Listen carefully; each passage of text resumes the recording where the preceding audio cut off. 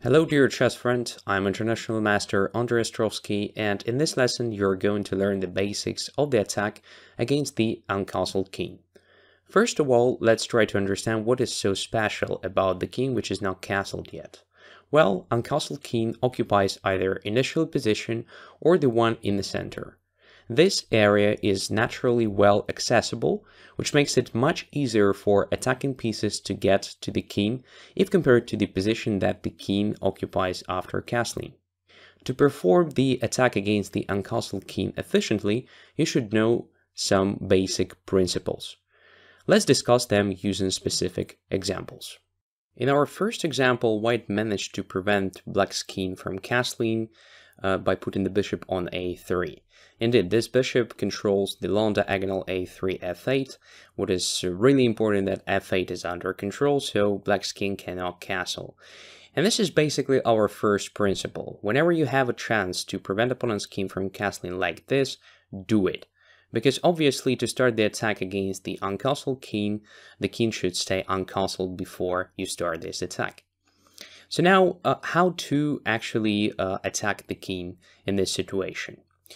It's usually helpful to identify the vulnerable squares around the king that you can use for this attack. One of the squares is uh, definitely f7, which is protected by only the king, and it is already under pressure because of this bishop on c4. So what if we just add another piece to attack this f7? Indeed, this queen b3 move, uh, simply creating a threat of taking on f7, appears very, very strong. So bishop f7 is not only the threat of just capturing the pawn, it is a threat of a checkmate, because opponent's king is completely limited. So black cannot ignore this threat and has to protect the pawn, which is not that simple in this particular case, because f8 square is controlled, uh, black cannot really play rook to f8. Because e7 square is controlled by the bishop, there is no queen to e7 move. Uh, because e5 square is controlled by the knight f3, there is no knight to e5 move. So basically the only defense here that makes sense is d7, d5. And black played d5 in the game. In this case, of course we take on d5 with the pawn. Very strong continuation, because we attack the knight c6 and uh, this means black doesn't have the time uh, to run away with the king or do anything to actually protect it and has to deal with uh, the knight which is heading because if we simply win the material it's also just good enough to win the game. But what is really important here and uh, that is the main change in the position after ed5 is that the e file which was previously closed now becomes completely open. There is no longer this pawn on e4 uh, actually limiting our own rook. And this means after a simple move rook to e1, uh, very soon white will start the direct attack against the king. And that is our next principle, very important one. We have to try to actually open as many files and diagonals against the king as possible. Why? Because, well, open files imply that uh, we can attack the king using heavy pieces. Open diagonals mean that we can use our bishops. And the queen, of course, is very good in case of uh, open files and diagonals because the queen can use both files and diagonals to attack the king. So in general, the more exposed the uncastled king, the better for us. The more pieces we have around the king, close to the king, the better for us. So after ed5, uh, black has to do something not only with the knight on c6, but with the e file. And at very first glance, knight to e7 looks like very logical continuation because black kind of solves both problems with one move. So first of all, goes away with the knight from the vulnerable position on c6, at the same time covering the e file. The problem is it doesn't help, because white continues the attack after rook to e1, simply attacking the knight on e7. Now obviously black can castle, but after that we just uh, take the knight and black has no compensation for missing material, so white's position is completely winning.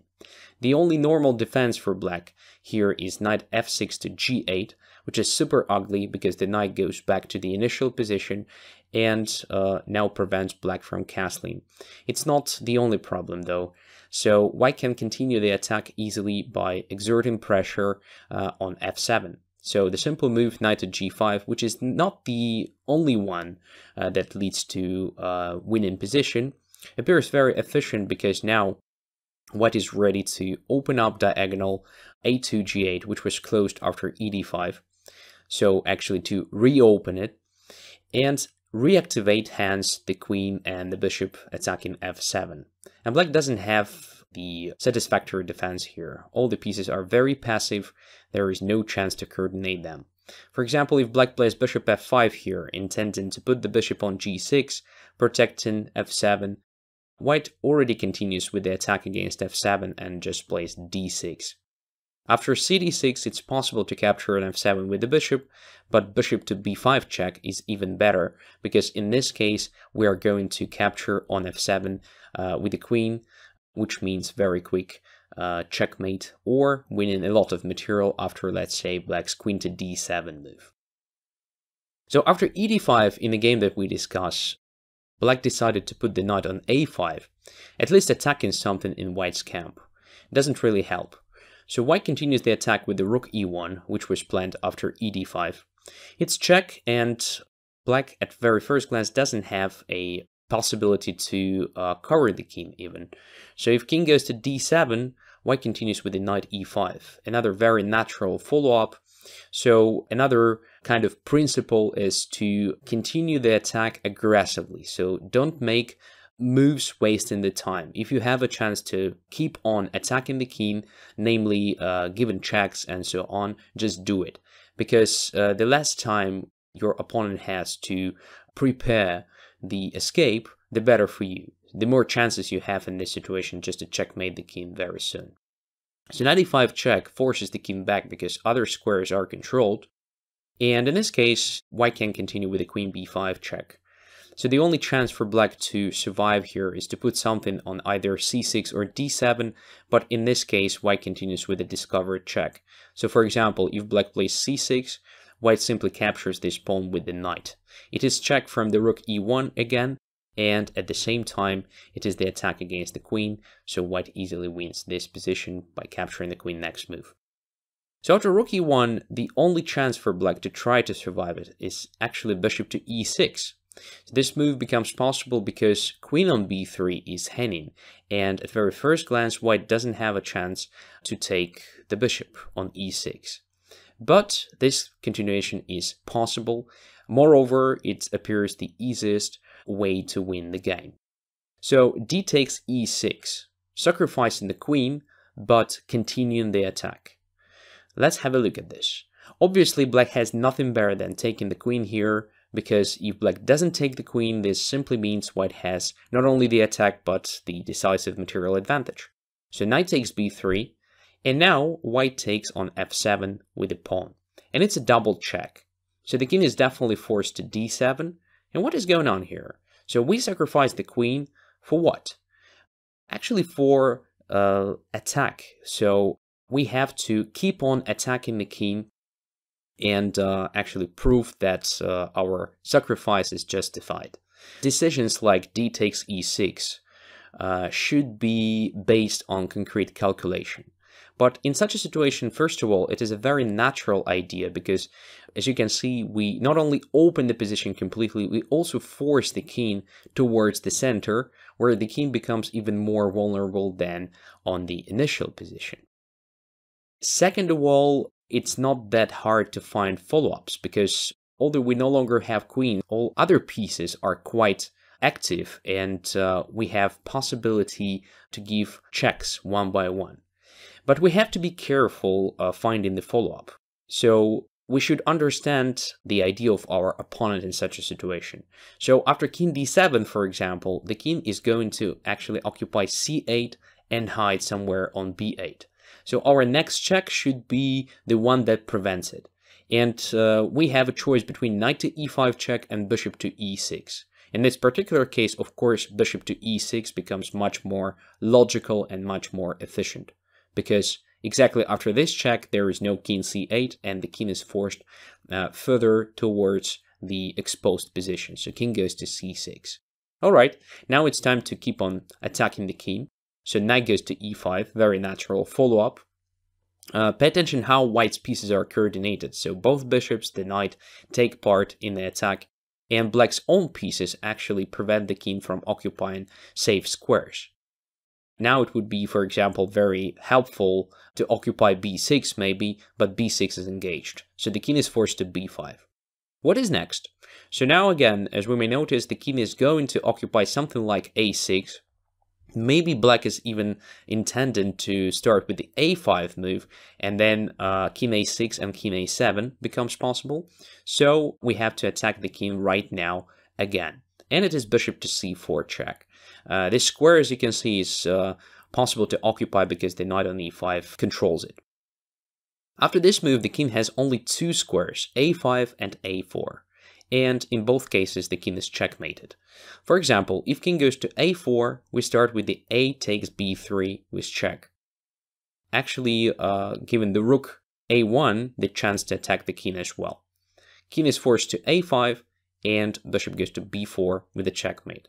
By the way, nice fact is that even if there is no rook on a1, it is still a checkmate. Almost the same happens after king to a5. So we first start with the bishop b4 check, and after king goes to a4, we capture the knight with the pawn, and it's a checkmate. The king is completely limited. All white's pieces actually take part in the attack. Let's summarize the main ideas of this example. Uh, first of all, we have to attack the most vulnerable point in opponent's camp. Uh, in open games, it is usually f7 or f2, depending on the color of the pieces you're playing with. Second of all, we have to try to open up a position as quick as possible to open up files and diagonals because this guarantees the inclusion of all of our resources into the attack. Also, material I mean, something like the queen or something, it's not necessarily that important. So what is really important is the coordination of attacking resources. As you can see in this particular case, white managed to checkmate the king even without the queen. Let's have a look at the other example. This position looks rather similar, but there is a significant difference if compared to the previous example. So as we may notice, the bishop on a3 prevents the king from castling short, but there is also an opportunity for black to castle long. And this move is already possible, so the factor of time starts playing a decisive role. And there is our next principle. So we should start the attack as soon as possible. So we should be rather quick starting concrete specific attacking operations. So the only real chance for white to start the attack here is to use the open e file. But at the moment we can notice that there is this bishop on e6 covering the king. So we should do something with the bishop to be able to play rook to e1 with check. And white's next move is rather natural. It is d4, d5. The question is why, for example, rook e1 is bad. So rook e1 is also very logical. We prepare d5, but in this particular case, it is too slow because black simply castles and d5 no longer makes sense because it doesn't cause uh, any significant damage. So d5 immediately is the best option for white and black is in trouble. So bishop is under attack. Uh, there are two options to capture the pawn on d5 or to go away. Because if black castles, then white can include knight to e5, intermediate move attacking the queen and protecting the bishop on d3, which may become a bit vulnerable after d5 takes e6. And after queen goes away, uh, we just take the bishop. After queen takes e6, we can play, for instance, rook to e1, and we have extra minor piece and absolutely winning position. So after d5, what happens if, for example, bishop goes to f5? In this case, as we may notice, e-file is ready to use, so rook goes to e1 with check. And since we control e6 square, the bishop cannot go back covering the king. We also control e7 square here, so that it's impossible for black to play knight to e7. At least it makes no sense. We just capture it, winning the game, uh, having decisive material advantage. So the king to d8 is the move here, but in this case we just continue aggressive play by putting the knight on e5. Uh, very natural follow-up, attacking the queen and the pawn f7 simultaneously. And since the queen also has to protect the bishop somehow, white easily wins. For instance, if uh, queen goes to c8, still uh, protecting the bishop on f5, white just continues with the knight takes f7 check, and after only move king to d7, bishop f5 is already a checkmate. If king instead goes to e8, so that protecting f7, uh, well, white can simply capture the bishop on f5 with the absolutely winning position, having extra minor piece, and continuing the attack. What if bishop goes to g4? At very first glance, it makes much more sense than bishop f5, because first of all, bishop is not that vulnerable on g4. Moreover, knight f3 is pinned, so that at first glance, white doesn't have a chance to play knight to e5. Well, in this case, rook to e1 is still very strong, forcing the king to super ugly position on d8, but queen to e1 is even stronger. So it is check, and in this case, as you can see, knight on f3 is no longer pinned, so the next move will be knight to e5. For example, if uh, king goes to d8 just like in the previous line, knight jumps to e5 with the same problem for black, so the queen cannot actually protect both f7 and g4, be not placed on d7, and uh, if queen goes away somewhere, we either take on g4 or take on f7. If instead of that, knight goes to e7, then we anyway play knight to e5, attacking the queen. And once again, there is a problem, because the queen has to protect not only the bishop on g4, but the knight on e7 as well. So if queen goes to c8, let's say we just take the bishop, and here is the threat of just taking the knight on e7 next move with the queen, and it would be a checkmate. So black has no time to recapture the knight on g4, which means white has a decisive material advantage again. So after d5, looks like bishop takes d5 is simply the only move. And after that, it is very tempting to use the e-file immediately, so to put the rook on e1. But this move would be a mistake. Why? Because after rook e1, the bishop simply goes back to e6, and appears that white achieved absolutely nothing. So prior to occupying the e-file with the rook, it's really vital in this particular case to eliminate the potential defender, uh, namely this bishop on d5. And here is our next principle. So you should think of uh, opponent's defending pieces. So you should think about opponent's best defending options. And if you have a chance, you should simply eliminate defenders. In this particular case, the main defender is the bishop d5, so why not to capture it? Knight takes d5 appears very strong. So after queen takes d5, because, well, if black doesn't take the knight on d5 once again, uh, white simply has decisive material advantage. So queen takes d5, and there is no longer a possibility to cover the king with the help of bishop e6. So rook to e1 becomes really strong, and it is possible to actually play this right away. But after rook e1, king goes away. So white decided to improve this idea to make it even stronger and started with the bishop b5. And uh, here's another hint. So uh, whenever you want to make your move, although it may look very natural and uh, very strong, just try to think about opponent's best defense. Maybe you have a better option, like here. So bishop b5 is very strong, because after this check, white also attacks the queen on d5. And as we may notice, uh, something like c6 doesn't really help, because it is the defense of the queen only at first glance. In fact, we just capture the queen, and pawn on c6 is pinned by the bishop b5. That's the problem. So c6 is not a defense. And this means the only chance to save the queen is to capture the bishop. But after that, as you may notice, we control the d file, and this limits the opponent's king even more. So now rook e1 is even stronger because the king doesn't have a chance to run away. Imagine there is no knight on g8, it could have been just a checkmate uh, in two or three moves. But there is still the knight, so black uh, is still not completely dead. So knight goes to e7, and once again, the same situation. It feels like rook to e7 is something that should be played automatically without thinking because it is so strong. We regain the piece that we've just uh, sacrificed after bishop b5. We force the king to super vulnerable and ugly position on f8. But if we take on e7 and king goes to f8, it is really tempting to try to use the power of the bishop a3 now with the help of uh, discovered check. But look, if we play rook to e5, which looks very natural, to attack the king and the queen simultaneously, black has a defense. It is c7, c5 move, covering both the diagonal a3, f8 and the fifth rank. So we don't really win something significant right away. Instead of taking on e7, white decided to start with the rook to b1 move. Very smart attack, because after rook b1, queen is under pressure, and black definitely has to go away somewhere, but appears the queen simply doesn't have a safe square here.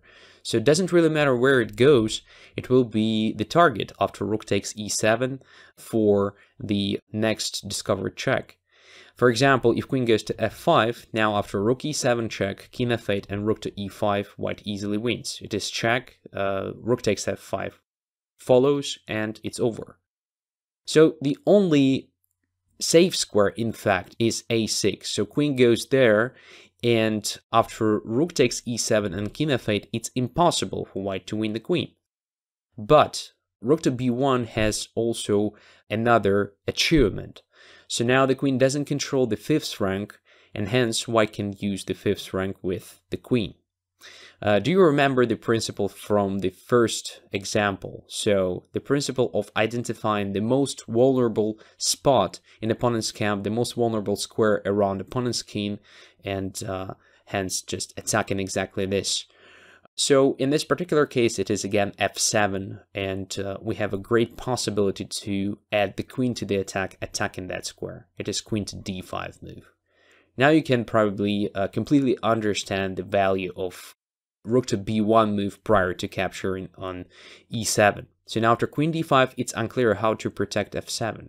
So the only sensible defense that black has in this situation is queen to c4, but this move doesn't help. Of course it prevents queen f7 checkmate, but white has another great uh, continuation of the attack. It is rook takes f7, double check.